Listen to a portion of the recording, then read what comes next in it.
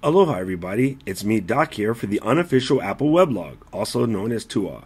Today, I'm going to show you how to add a partition to an external hard drive that you're already using for data and backup so that you will have a partition to exactly clone your internal hard drive. We're going to achieve this today by using a combination of Dolly Drive and Disk Utility. Now, the advantages of having a drive clone is that it is an exact working duplicate copy of the data that exists in your hard drive as it sits. So, should you have a catastrophic drive failure or a hiccup in your OS somewhere, you should be able to boot off the clone and get right back to working while you resolve your issue. So, drive cloning shouldn't replace your backup strategy, it should be something that you add in addition to your backup strategy. Now, my favorite tool for doing this right now is Dolly Drive, but this also can be done with something like Carbon Copy Cloner or Super Duper. Now let's take a further look at changing your partition on the drive that you have set up so you can now use Dolly Clone as Dolly Drive to clone your internal drive. Let's start by opening up Disk Utility once disk utility is open, you want to select the hard drive. In this case, I have a 500 gigabyte external hard drive that has a partition on it named Caitlin. But I'm going to select the actual hard drive itself. From here, you're going to need to press the partition button. When you have the partition button open, you'll see it's showing me my current drive and the white space is the free space I have available. This is roughly about 500 gigs. We won't get into drive math, that's a different conversation. The drive that I am attempting to clone is 128 gigabyte internal Samsung 840 SSD and I'll be cloning it to the extra space on this 500 gigabyte external. You'll see that there's a lot of space left over as the white portion of this diagram and that tells me that's how much free space is left on the drive. In order to add a new partition I'm going to plus, press the plus sign and then you'll see that I now have this extra space. Now it's bigger than I need, so all I need to do to adjust that is drag this bar down until I get it to roughly 135 gigabytes or so.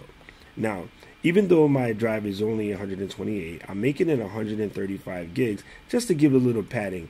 It's not necessarily so, but I think it'd be the safest thing to do. So let's go ahead and rename this. So I'm going to call this Dolly Clone. And once you rename it, all you need to do is make sure that you have your partition sizes right. Just double check everything. Once you're pretty sure that's what you want to do, you're just going to go ahead and press apply. Now, after you press apply, it's going to give you a warning.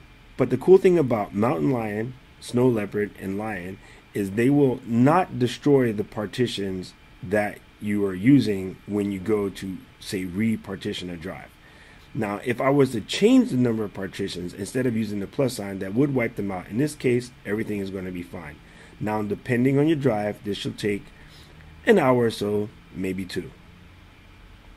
I'll speed up the video to save you from watching paint dry.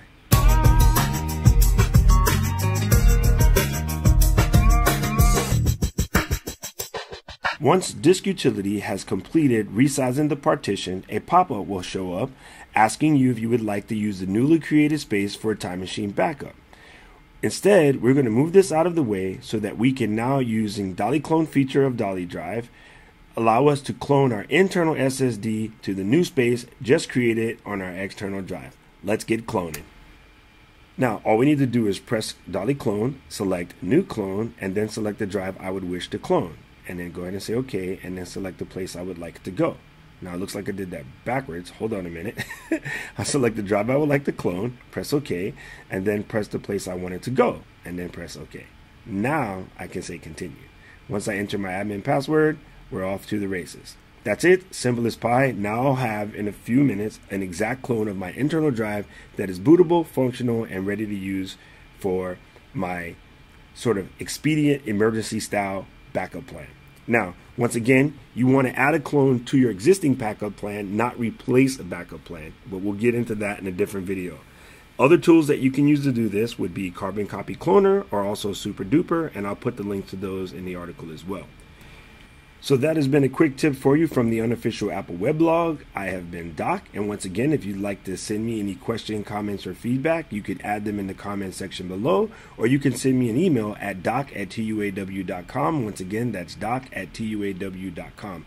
Don't forget to press subscribe and press like, and we'll see you again soon. To aloha!